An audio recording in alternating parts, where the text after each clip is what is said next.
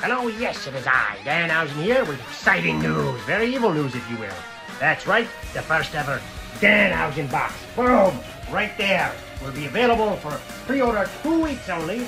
It'll be 60 human dollars for 10 new Danhausen items. That's right, look at this box. Great. Great, wonderful box. My evil eyeballs are there. All of that stuff. Just curse them all.